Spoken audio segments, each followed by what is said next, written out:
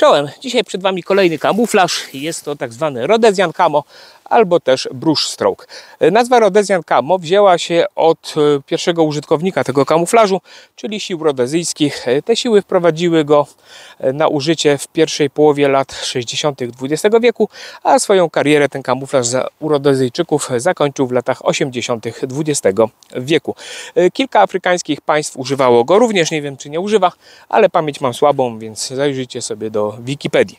Jeżeli chodzi o drugą nazwę, czyli Brush Stroke, wzięła się ona stąd, że ten kamuflaż przypomina niektórym pociągnięcia e, pędzlem na płótnie. E, Prawdopodobnie jego pochodzenie to jest e, kamuflaż brytyjski, który wprowadzony był na smokach Denisona i późniejszych wzorach. Brytyjczycy przywieźli go zapewne ze sobą w czasach, kiedy jeszcze Rhodezja była ich kolonią.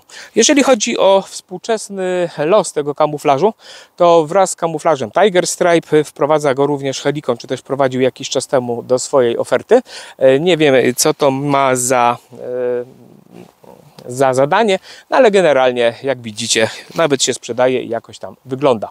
Jako kuriozum powiem Wam, że najpierw wprowadzono chyba spodnie, potem wprowadzono e, bluzy, a do tej pory nie doczekaliśmy się nakrycia głowy w tym kamuflażu. Jak dzwoniłem do Helikona, podobno trzeba będzie czekać do końca tego roku na pojawienie się kapeluszy Rhodesian Camo. A Melduje posłusznie, że to też jest moro, tylko w wersji dla służby więziennej.